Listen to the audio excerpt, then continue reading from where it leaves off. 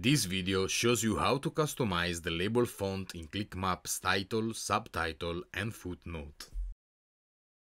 Click the Edit Sheet button to edit the map. In Properties, select Open Advanced Properties. Under Appearance, select Presentation and then select Styling. In Title, you can change the font by selecting one from the drop-down menu.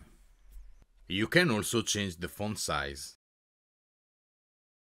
You can also change the color by selecting a new one using the color wheel. In the same way, you can make changes in the subtitle and footnote.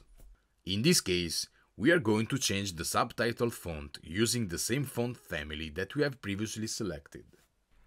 After that, we change the font style to italic and then we increase the font size to 15 pixels.